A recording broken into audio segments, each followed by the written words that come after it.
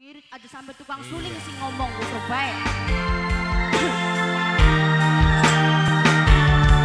Kok tukang suling ngomong. Nanti kan Mas Teddy kah ya kakek Mas. Wolung